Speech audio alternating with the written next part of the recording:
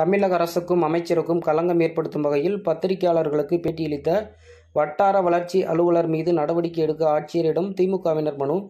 ஜாதியை சொல்லி தன்னை ஒருமையில் திட்டியதாக முதுகுளத்தூர் வட்டார வளர்ச்சி அலுவலர் ராஜேந்திரன் போக்குவரத்து துறை அமைச்சர் ராஜகண்ணப்பன் மீது புகார் தெரிவித்து நேற்று பத்திரிகையாளர்களை சந்தித்து பேட்டியளித்த சம்பவம் பெரும் அதிர்வலைகளை ஏற்படுத்தியிருந்தது.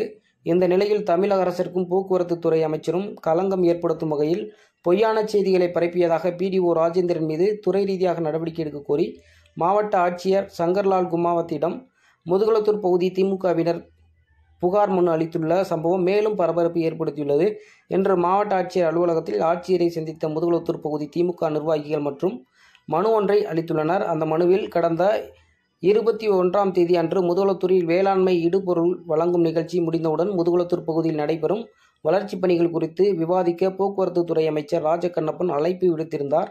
ஆனால் முதுகுளத்தூர் வட்டார வளர்ச்சி அலுவலர் அமைச்சரை சந்திக்கவில்லை. இதனால் மறுநாள் இருபத்தி ஏழாம் தேதி அன்று காலை அமைச்சரை அவரது இல்லத்தில் வைத்து சந்தித்த வட்டார வளர்ச்சி அலுவலரிடம் முதுகுளத்தூர் வட்டார வளர்ச்சி அலுவலகத்தில் நடைபெறும் முறைகேடுகள் மற்றும் ஊழல் புகார்கள் குறித்து அமைச்சர் விசாரித்தார். இனிமேல் இதுபோன்று புகார் வரும் பட்சத்தில் நடவடிக்கை எடுக்கப்படும் என எச்சரித்து அனுப்பி வைத்தார் என அந்த மனுவில் குறிப்பிட்டுள்ளது.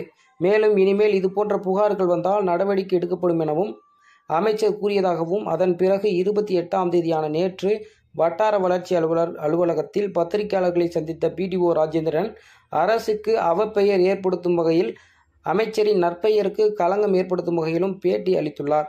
எனவே மாவட்ட ஆட்சியர் அரசுக்கு அவப்பெயர் ஏற்படுத்தும் வகையில் அமைச்சருக்கு களங்கம் ஏற்படுத்தும் வகையிலும் செயல்பட்ட முதுகுளத்தூர் வட்டார வளர்ச்சி அலுவலர் மீது துறை ரீதியாக நடவடிக்கை எடுக்க வேண்டும் என அந்த மனுவில் குறிப்பிட்டுள்ளது.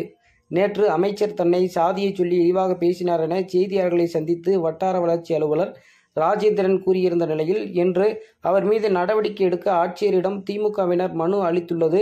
அரசியல் வட்டாரத்தில் பெரும் பரபரப்பை ஏற்படுத்தியுள்ளது.